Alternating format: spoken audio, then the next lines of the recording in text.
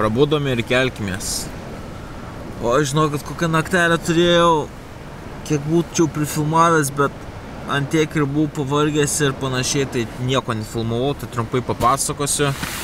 Tai kai užklievau, e, pamiegojau, ką žinau, valandėlę, jaučiu leidžia. Ir nesuprantu, galvoju, gal nauja skilė atsirado. Pasižiūriu, kadangi čia nais, mat, patys matot, nu nėra lygus plotas, tai kai užklievau, aišku, užklievau, kai išleistas, bet vis tiek kažkur pagavo tarpelį ir pradėjo leisti orą. Aš dar ten su nagu stipriai prabraukiau, kad viskas susiglaustų. Dar prisipučiau, toliau jau mėgoti vėl valandėlę, pusvalandas ar kiek vėl pradedu jau sušikno žemę, šalta. Eina savo, ką daryti, ką daryti čia. Galvoju, gal dar skilučių atsirado, ką žinau čia, nais, gal kokį žvyrelį pagavo ir dar čia apieškau, nieko, ne, ta prasme, triukšmas, vėjas pučia, belė kaip, tu negali girdėti, ar čia tas kilutė, ar ne tas kilutė. Apsirengiau čia biški toks mėgustas, nuėjau per pradžią per vėją, nebuvo dar lietaus iki mašinos, mašiną prisipučiau, okei, okay, žiūri, to pati skilė naujų nėra, that's good. Tada galvoju, blembačkai reikia imti power tape'ą ir moment klyjus, nes jau buvo daknis, jau ten trečią, ketvirtą ryto vis prabudinėjau žodžiu. Nuvariau vėl į mašiną, aplinkui tą kaliau truputį klyjų ir dar ant viršaus power tape suklyjavau kryžmai tokį gerą plotą. Nugalvojau dabar laikys. Ir laikė kokias 3 valandas, 2 ir vėl. Ir galvoju, gal, gal tikrai jau čia viskas gerai. Tada aną pusę apklyjavau, irgi power tape va. Ne, su aną pusę viskas gerai, tas lopas juodas atlaikė. O čia va blogai, biškai užsikliavo ir viskas. Tai dabar viską naujai nuplėšiau, dar tikrai pasitikrinau šitą skilutę jo. Tai kadangi šią naktį miego turėjau kokias 3 valandas, tai biški dužęs, bet tu atsidarys parduotuvėlių, tai gal kažką rasiu, ką galėčiau panaudoti kaip lopą. Turiu palapinės lopų, bet palapinės lopai yra skirti palapiniai ir nebus šimtaprocentiniškas sandarumas, nes vis tiek čia visai kita tekstūra, kita medžiaga, reikia visiškai jokio oro pralaidumo, palapinė turi oro pralaidumą. Tai pabandysiu, va, kokie krautuvėliai, čia yra tokių universalių krautuvėlių, kur realiai nuo, nuo degtukų dėžučių ten iki, iki konservų gali rasti, iki, iki raktų komplekto. Tai kažką nusipirksiu, ką galėčiau panaudoti kaip kaip lopą. Tada kalsiu klyjų momento ir bandysim gerą štampą dėti. Tai jo, tokia naktelė.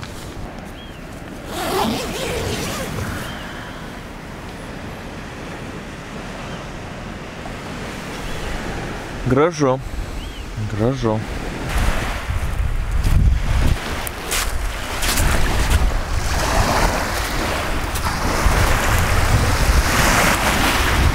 Jo, o prieš penkias dienas čia saulė kepino ir net nebuvo įmanoma stovėti laukia, nes ant tiek karšta buvo, tai tiesiog arba mašinai su kondicionu, arba, arba kokiam restoranėlį viduj.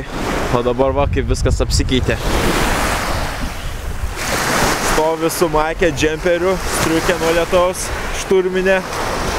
Tai vis tiek vėsoka.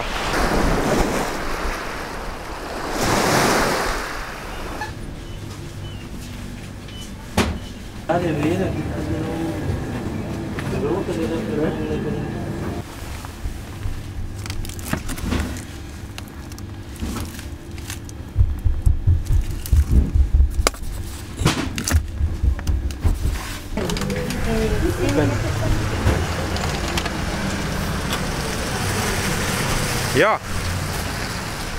Čilės krautuvėlėse gali nusipirkti pasagų komplektėlį. Bet ką sugalvojau dėl lopų, tai radau guminės pirštinės. Net nežinau. Ką žinau, ką daugiau galima sugalvoti, kaip, kaip panaudoti lopą. Daugiau čia šitą krautuvėlį nieko neradau. Arba kalti moment klyjų sluoksnį ir, ir labai delikatiniai priklyjuoti power tape. Arba tą guminę pirštinį iškarpius gražų lopą. Manau, gal taip visai variantas. Reikia improvizuoti. nu, užsuksim dar į kitą parduotuvėlę. Tai šiandien yra toksai planas, truputį gavau informacijos. Tai šiandien antrą valandą bus raftingas. Tai važiuosim tenais į tą praeitą miestelį, tenais puf, pasiplaukėsim. Kitas dalykas dėl to ledyno, nuo kurio noriu haikinti. Ten yra visos dienos turas, nuo 8 ryto iki, iki vakaro. Ir kainuoja 80 tūkstančių peso, kas yra apie 85 eurai. Bet esmė, kad jį gali daryti tik tais rytoj. O rytoj oras ne pats geriausias, rytoj yra ketvirtadienis ir irgi žada, o čia krautuvėlė, čia užėsiu ir žada, o ir bažnyčia. Čia labai įdomios tokios bažnytėlės, labai mažytės, tokios pusiau vaikiškos net atrodo. Ir dėl to haiko, tai arba rytoj gali tas gidas eiti, nes šiandien yra nacionalinis parkas, bla bla bla, tu niekaip kitaip negali, na ir saugumas aišku. Arba bandyti laukti penktadienio Aišku, čia jau iškrenta biški laiko, bet penktadienį geras oras ir pavyktų jau čia ten ir gerų kadrų pagaudyti. O šiaip ten galima nuvažiuoti, šiaip aš buvau apsiskaičiavęs iki ten 53 km, tai pusantros valandos kelio iš virkelių, slėnių, tai kelio yra. Tai gal dar čia skaičiuoja 80 eurų įskaitant suvažinėjimą, tai va reikės dar šitą pasitikslinti, bet bet kokiu atveju galima į vietą nuvažiuoti ir apeiti haiką. Kainuoja 5 eurai pats kaip parko mokestis. Nu, šuniekė.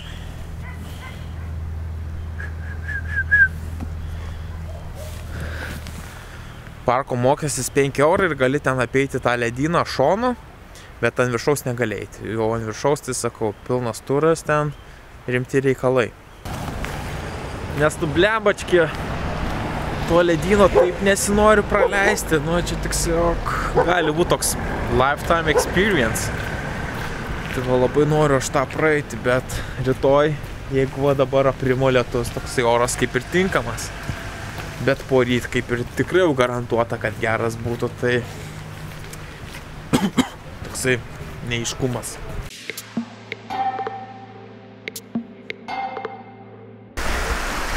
Va su šitomis valtimis plaukia iki, iki tų urvų. Šiaip nežinau, kiek žmogų kainuoja. Kažkas apie 50 tūkstančių. Apie 5 eurų maždaug. Aišku, galėčiau plaukti, bet man kur kas didesnė atrakcija būtų, jeigu pats su baidarė plaukčiau, tai ten daugiau ir prieimų raščiau ir būtų žiūri fainai. Tai va, todėl viskas klostosi taip, kad aš planuoju dar čionais rytoj likti. Paskui tokių labai galimybių nelabai ir turėsiu. O paskui greušius nagus, kad to ir nepadariau, būdamas čionais pietų Čilėje. Su kuratais aš čionais kaip kiras aplink tą miestelį. Visus kavinukas užsidariusios, dar nieks nedirbo. O šį būtų gerai kažkur atsisėsti, vlogą sumontuoti, kalt kavutės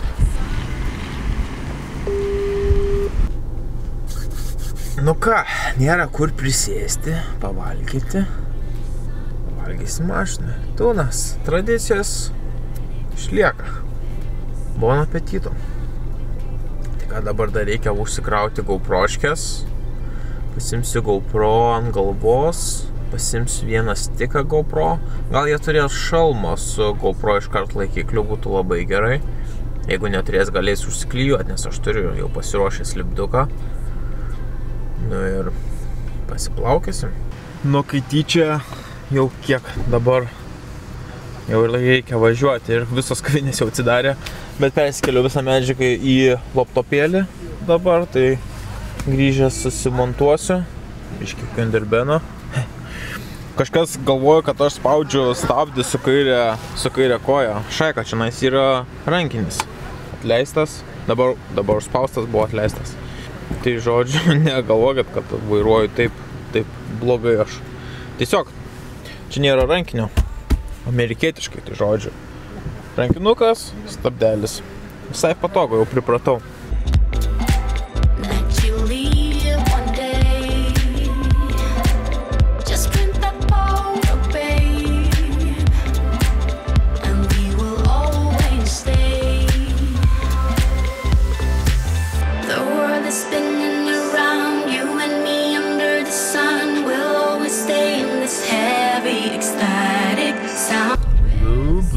Blue water. Norėjau sakyti blue, blue sky, bet kad šaika, biški vanduo labiau blue negu sky.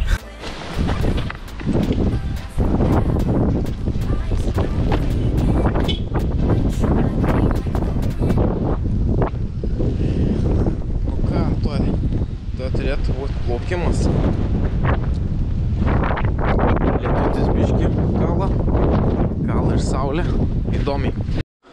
This synthetic Yeah.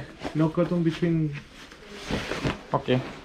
Or or just or just skin with neoprene Yeah, yeah. Okay, cool. and the zipper is in front of you like this Okay. 43 Yeah, cool. and wind stopper or splash jacket All right. thanks Perfect. you and your your, your, your stuff put Yeah. here Ah. It's waterproof, right? yeah Cool. this is uh, in the pickup Okay. Yeah. Let's Neatsim, kada taip filmavau su GoPro. Ką, hidrekas, šalmukas, taip, taip, taip.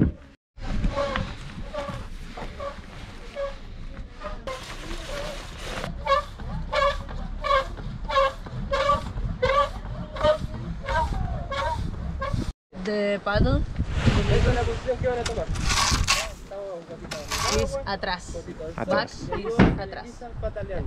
And stop, alto. Okay? Okay. If you fall in the water, and relax. Chill. enjoy. Longest river? This one? No, the longest is Loa. It's in the north of Ah. Chile, but it's the Widest. The volume. The Volume. Yeah. Yeah. Understand. Yeah. Now here maybe 450 meters cubic per second. Mhm, Nice. Big river, only water, safer, no rocks between, but the wave is too big. Yeah. Okay, but it's nice. In Bali was rocks. Yeah. Yeah. yeah. Yeah. Okay. Okay. Okay. That's cool.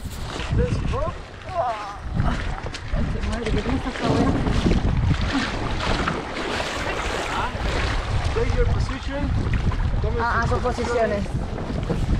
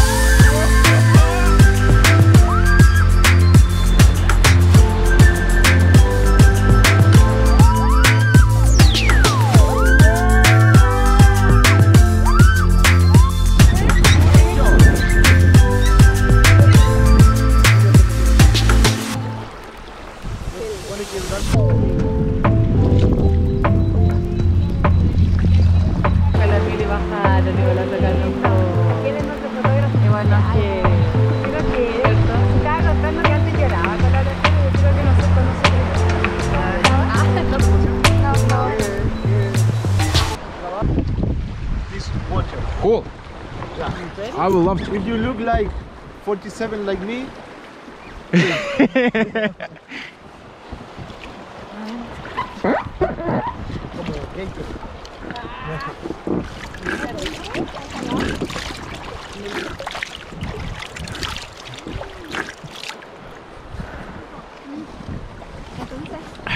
the high quality water. Yeah, perfect. Perfect.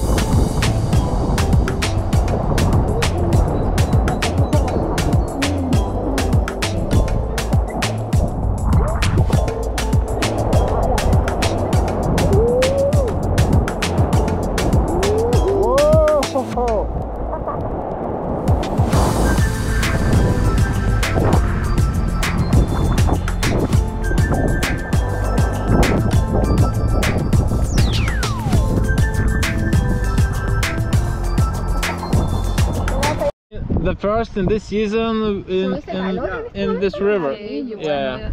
And with your company. Yeah. Yeah.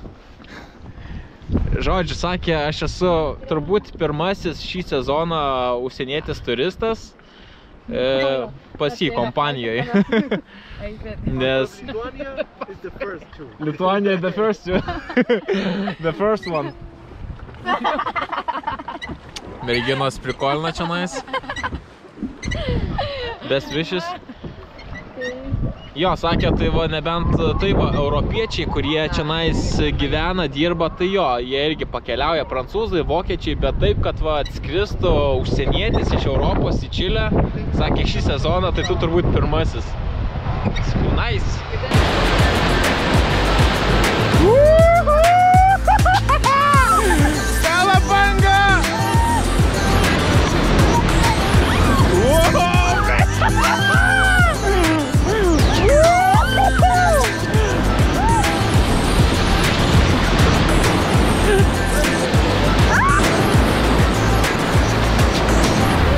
nice!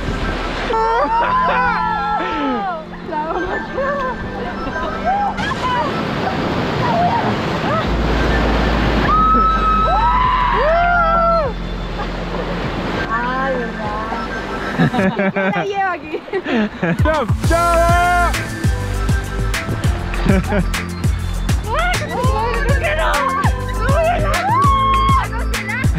run! Run! Run!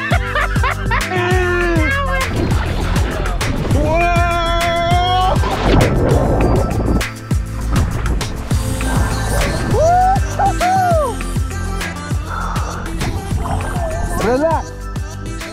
Take your time. Do, do, do. Take your time.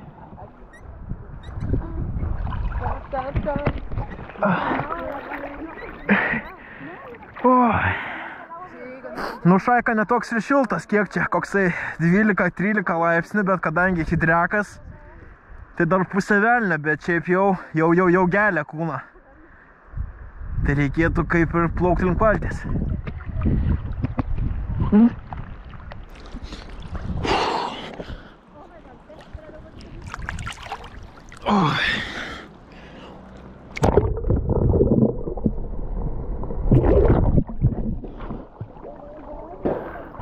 I don't need the boat.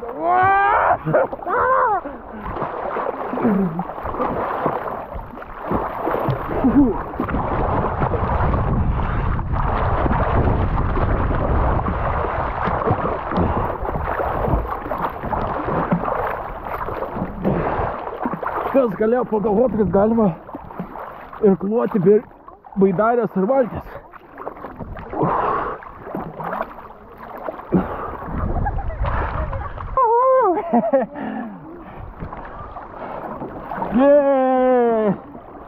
Superman! Superman! Goku! Goku!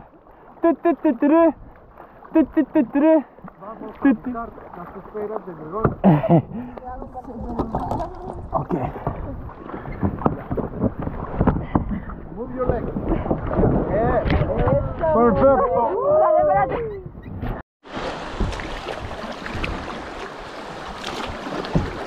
Llegado. No remento el camino. Sobrevivimos. Survivor, survivor. Oh, qué terrible. Nu ką, I'm back. Eina savo, kaip fainai buvo. Ta prasme, geras raftingas. Tai yra antras raftingas mano gyvenime. Pirmas buvo Bali. Tai šitas geresnis buvo.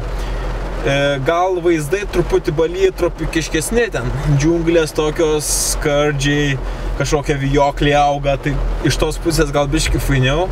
Bet pati upė čia nais kur kas smagesnė ir vanduo toksai geras. Žydras ir ne per ledinis labai kompanija labai faina.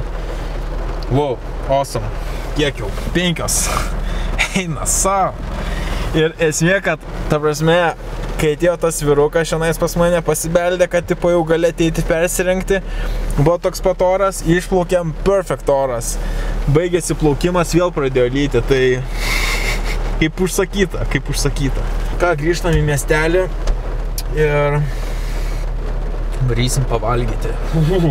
ir kažkaip vėsų, ir išalkės, ir reikia atsigauti. Nu ir šiaip, 7 laipsniai laukia, tai ne piragai. Nu, biški pasitaškė per kelią. Vėl saulė išlindo. Egna savo, čia tas oras, tai sakau. Permaininga žiauriai. Tai yra kalnai, tai nėra kalnų. Kai dozė, 300 gramų jautinos, kiaušiukas, bulvės ir kepti svagūnai. Eik tu. 11,5 euro. Dar arbatėlė. Nice, daužom. Bum, bum, bum. Biška energijos po plaukimo. Einam pasižiūrėti tokį kaip ir kempingėlį. Nežinau, čia jisai dirba, nedirba. Vakar tai čia jokių gyvybės ženklų nebuvo, bet ten truputį aptverta teritorija, tai mažesnis vėjas būtų. Būtų gerai. Daily vaizdai. nu čia kaip ir bairis visai. Jie nėra. Mačiau trobelę užsikūrus.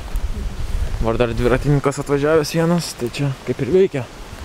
Eik pasidomėt kokios kainos. Dušiuką gauti irgi būtų neblogai.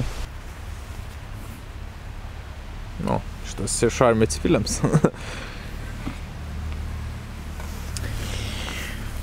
ok, Avalu. Tai truputį susirašėm per translatorį su ispanų žodžiu. Dviračių keliauja, dabar keliauja į šiaurę. Kaip ir aš. Tai sakė, menedžeris kol kas išvyko, bet atvažiuos, tai viskas ok. Ten tikrai vėjuko nėra, kur kas smagesnė naktelė turėtų būti, negu ant to paplūdimio ten nešiot mane. Tai dabar einu susiklijuoti kilimėlį ir tada einam į kitą kavinukę, kuri jaukesnė ir turi rozetės. Reikės ten susimontuoti vlogus. Tai šiandien jau ta paskutinė diena, kada grįžtu į režimą. Tai sumontuosiu tų vlogus, kurie įkris rytoj ryte ir vakare. Ir tada jau grįžtu į režimą. Va, vakar reiškia, kai praleidi kiek čia dvi dienas neįkėlus vlogo, tada viskas taip atsilikinėja. Išgyvenimas. Arba susilopai, arba nemiegi. Vienas iš dviejų. Nu gal ir atrasčiau čia kokį hoteliuką, bet nu čia principo reikalas yra. Man dabar dašuto. Tik tas dviratininkas gali turėti lopų. Nu. Eik tu. Nu, einu pabandysiu, paklausiu. Nu, žmogaus. O tas tai vis tiek dviračių keliauja, tai kažką turės atsarginio. Ir ne vieną. Tai kokį vieną lopelį, jeigu duotų, tai manau, čia visai labai labai gerai sueitų. Tai va, bahuriukų pagalba davė lopą, užklievom lopą su super momentu, nes su dviračio padangų kleisnėjo, ta prasme net nelipo su šitą medžiagą. Tai kalėm momentą, tą lopą dviratinį ir ant viršaus tape. Nu, kol kas, kol kas laiko. Matysim. Kempingas kainuoja 4 euriukai. O ten menedžeris vaikšto. Palapinę pasistačiau ten už tų aukštų aukštų tujų. Tai turėtų būti vėjas tikrai, ten tikrai silpnesnis negu vakar buvo ir žemė gera, nu, tokio paruošta kempinimui, tai komfortiškai ten susismaikščiau, gerai laikysis palapinė. Bandom viską susinešti, visą chlamą į palapinę. šitas autobusas, baras atidarytas. Wow, damn! Vienintelis likęs baras, jau pusę dešimt, kuris dar veikia. Sakau, aš tiems uh, čiliečiams sakau, einam į barą, pavaišinsiu alum už pagalbą. Sako, it's open. O aš toksai susimėčiau, yeah, I guess. Tai einu pasikviesi juos, nes, kaip supratau, jie rytoj jau išvyksta namo. Tai čia jų kaip ir paskutinė statelė, aš supratau. Paskui su autobusu keliaus. Right.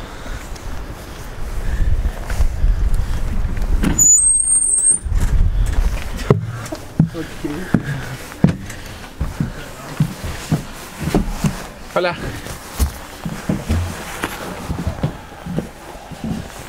Uh. Yeah.